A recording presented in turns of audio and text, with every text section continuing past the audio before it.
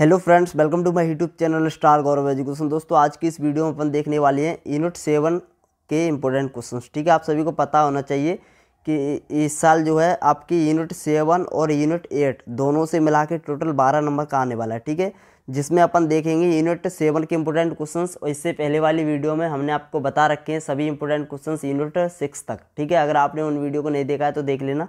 और इसके बाद आपके एट रह गई है और नाइन यूनिट रह गई, ठीक है? एक आध दिन में आपकी कंप्लीट करवा दी जाएगी एट और नाइन ठीक है? काफ़ी दिन से वीडियो नहीं आ पा रही है, कुछ कारणों की वजह से नहीं आ पा रही है, ठीक है? क्षमा करना।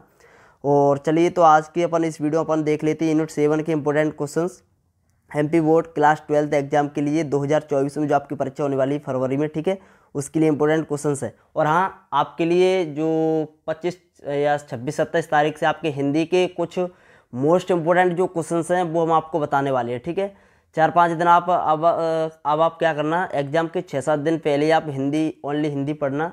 मतलब ज़्यादातर आपको हिंदी ही पढ़नी है, ठीक है? और ज़्यादातर आपको हिंदी पढ़नी है और एक आध सब्जेक्ट और आप पढ़ सकते हो, ठीक है? जैसे इंग्लिश हो गया, फिजिक्स हो गया, मैथ्स हो गया, कुछ भी आप एक आध घंटा ट्राई कर सकते हो, लेकिन आपको सबसे ज़्यादा, जैसे एग्ज़ाम आपका छः तारीख से, ठीक है? तो आपको क्या करना है, हिंदी पढ़ना है। कब? आपको लगभग पाँच या छः दिन पहले मतलब हिंदी पढ़ना स्टार्ट कर देनी है, ठीक है, अच्छे से। तो हम आपको कुछ जो जो ज़्यादा इंपॉर्टेंट क्वेश्चन हमको लगेंगे हिंदी में, वो हम आपको बता देंगे, ठीक है? तो चलिए आप बिल्कुल भी चिंता ना करें। जो हमने आपको इम्पोर्टेंट क्वेश्चंस दिए हैं ना यूनिट बाई यूनिट अगर आपने वह तैयार कर लिए होंगे तो समझो आप मतलब अच्छे नंबर लाने से आपको कोई रोक नहीं सकता, ठीक है? हमने आपको केमिस्ट्री में भी इंपॉर्टेंट क्वेश्चंस बता रखे हैं, आपको पता होना चाहिए। केमिस्ट्री के या तो हमने आपको सभी यूनिट्स के इंपॉर्टेंट क्वेश्चंस कंप्लीट करवा दिए हैं। अगर आपने नहीं देखा है वीडियो को तो देख लेना, ठीक है? डिस्क्रिप्शन में लिंक मिल जाएगी केमिस्ट्री के सभी यूनिट्स के इंपॉर्टेंट क्वेश्चंस की वीडियो, ठीक है? केमिस्ट्री के मतलब हमने सभी कंप्लीट करवा दिए हैं। जितने भी चैप्टर्स थे, उनके सभी इंपॉर्टेंट क्वेश्चंस आपको प्रोवाइड करवा दिए हैं। फिजिक्स के रह गए थे, दो यूनिट्स के रह गए तो वो भी हम आपको जल्दी से प्रोवाइड करवा देंगे, ठीक है? बस आप अच्छे से unit by unit important question को तैयार कर लेना। और हाँ यूनिट बाई यूनिट में से जैसे काफ़ी स्टूडेंट्स ऐसे होते हैं जिनको याद नहीं होता ज़्यादा तो उनके लिए हम स्टार लगवाते हैं, आप सभी को पता होगा। जो प्रश्न अपना थ्री स्टार वाला है, वो सबसे ज़्यादा इंपॉर्टेंट रहने वाला है। उसके बाद टू स्टार वाला, सबसे पहले सभी स्टूडेंट्स को थ्री स्टार वाले प्रश्न याद करने थ्री स्टार वाला प्रश्न सबसे ज़्यादा इंपॉर्टेंट है। उसके बाद आपको टू स्टार वाले याद करने हैं, और उसके बाद अगर आप और याद प्रश्न करना चाहते हो तो वन स्टार वाले। और फिर आप जैसे आपकी मर्ज़ी और भी याद करना चाहो तो कर सकते हो एक्स्ट्रा। लेकिन आपको थ्री स्टार वाले और और आपको टू स्टार वाले याद करने ही करने चाहे कुछ भी हो जाए। ठीक है? वन स्टार वाले आप छोड़ भी सकते हो। तो चलिए अपन देख लेते हैं। यहाँ पर आप देखिए, आपका यूनिट सेवन और यूनिट एट से मिला के टोटल बारह नंबर का आएगा। ठीक है? तो इस वीडियो में अपन देखेंगे यूनिट सेवन के इंपॉर्टेंट क्वेश्चन ठीक है? इसके बाद अपन देखेंगे यूनिट एट के। तो यूनिट सेवन में से आपका दो नंबर का प्रश्न आएगा हंड्रेड वन परसेंट और आपके दो ऑब्जेक्टिव आने के चांस है। यानी इसमें से आपका चार नंबर का आ सकता है। तो देखिए, अंक दो वाले महत्वपूर्ण प्रश्न देख लेते हैं। तो थ्री स्टार वाले देख लें आप जल्दी से। पहला प्रश्न जो है अपना प्रकाश विद्युत प्रभाव क्या है? आस्टीन का प्रकाश विद्युत समीकरण लिखिए। यह प्रश्न आपका थ्री स्टार वाला है, बहुत ज़्यादा इंपॉर्टेंट है, अच्छे से तैयार कर लेना। सभी स्टूडेंट्स ध्यान दें, सबसे पहले आपको थ्री स्टार वाले प्रश्न याद करने हैं, उसके बाद टू स्टार वाले, ठीक है? थ्री स्टार वाले तो याद करने ही करने हैं, चाहे कुछ भी हो जाए, और टू स्टार वाले भी याद करने हैं, ठीक है? थ्री स्टार, सबसे पहले थ्री स्टार वाले याद करो। अगर आपके पास टाइम है तो टू स्टार वाले याद करो।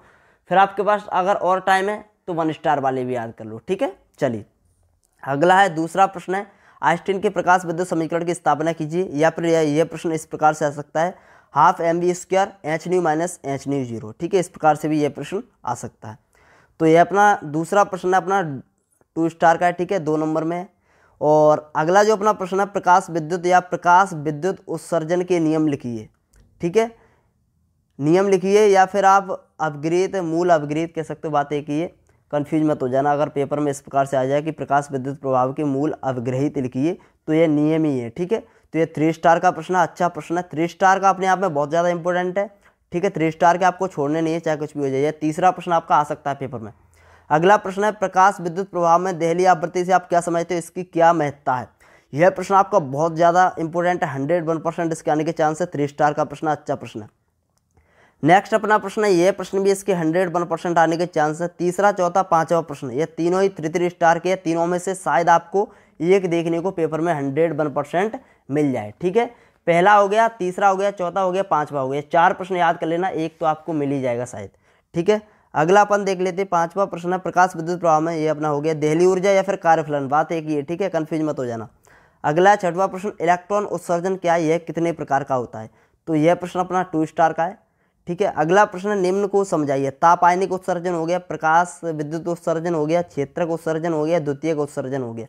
तो यह आपका, ठीक है, इसमें आपका पहला वाला थ्री स्टार का है। तापायनिक उत्सर्जन इंपोर्टेंट है इसमें, ठीक है? एक पूछा जाएगा कोई, और प्रकाश विद्युत उत्सर्जन तो हमने आपको अभी बता ही दिया तो ये दोनों बहुत ज़्यादा इंपॉर्टेंट है। इसके बाद, और जो क्षेत्र उत्सर्जन है आपका टू स्टार का है, और द्वितीय उत्सर्जन भी आपका टू स्टार का है। तो इस प्रकार से, ठीक है? अगला प्रश्न है, सबसे ज़्यादा इंपॉर्टेंट है हंड्रेड वन परसेंट इसके भी आने के चांस हैं, विकरण की द्वितीय प्रकृति, या फिर द्वितीय व्यवहार से आप क्या समझते हो? बहुत ज़्यादा अच्छा प्रश्न आ सकता है। थ्री स्टार का है थ्री स्टार का अच्छे से याद कर लेना। अगला द्रव्य तरंगे क्या है? डी ब्रॉगली तरंग समीकरण लिखी इसके दो गुण या विशेषता लिखी ठीक है?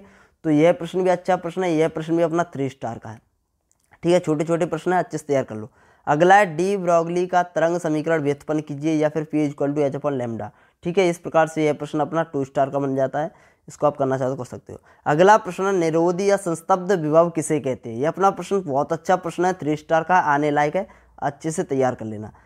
ठीक है, अगला प्रश्न है, बारहवा प्रश्न है, निरोधी विभव पर आपतित प्रकाश की तीव्रता वह आवृत्ति का क्या प्रभाव पड़ता है? अच्छा प्रश्न है, यह भी आ सकता है, दो स्टार का है, जब आप थ्री स्टार वाले याद कर लो, उसके बाद टू स्टार वाले याद करने हैं। नेक्स्ट अपना प्रश्न है फोटोन क्या है? इसके दो गुण लिखिए, एवं एक फोटोन की ऊर्जा एवं संवेग के लिए व्यंजक लिखो, ठीक है? ओनली आपको फॉर्मूला फॉर्मूला लिखना है, ठीक है? तो ये अपना थ्री स्टार का प्रश्न है फोटोन क्या है, इसके गुण लिखो, ठीक है? अगला प्रश्न है, चौदवा अपना प्रश्न है, पदार्थ या फिर द्रव्य का तरंग सिद्धांत या फिर डी ब्रॉगली तरंग सिद्धांत दैनिक जीवन में दृष्टिगोचर नहीं होता है, क्यों? ठीक है? तो यह जो अपना प्रश्न है, वो वन स्टार का है, देख लो, करना चाहो तो कर सकते हो, थोड़ा पढ़ जाना। अगला प्रश्न है अपना अच्छा प्रश्न है टू स्टार का है। इसमें आपको क्या करनी है जैसे निम्नलिखित में से रासायनिक संकेत, आवेश तथा आविष्कारक के नाम लिखनी है। जैसे इलेक्ट्रॉन की खोज किसने की थी? इसका संकेत चिन्ह क्या है? इस पर आवेश कितना होता है? प्रोटोन पर आवेश कितना होता है? न्यूट्रॉन पर आवेश होता है कि नहीं होता है? तो इस प्रकार से ये प्रश्न है। और कुछ दो इंपॉर्टेंट न्यूमेरिकल हैं। अगर इस यूनिट से न्यूमेरिकल बाई चांस बन जाता है दो नंबर में तो ये आप न्यूमेरिकल तैयार करके चले जाना दो बस, ठीक है? तो चलिए दोस्तों, इन्हीं में से आपको देखने को मिल जाएगा। बिल्कुल भी चिंता ना करें। जो हमने आपको इंपॉर्टेंट क्वेश्चंस दिए हैं यूनिट बाई यूनिट उनमें से एक भी प्रश्न आपका बाहर नहीं जाएगा, आप बिल्कुल भी बेफिक्र रहिए, ठीक है? धन्यवाद दोस्तों टेक केयर बाय बाय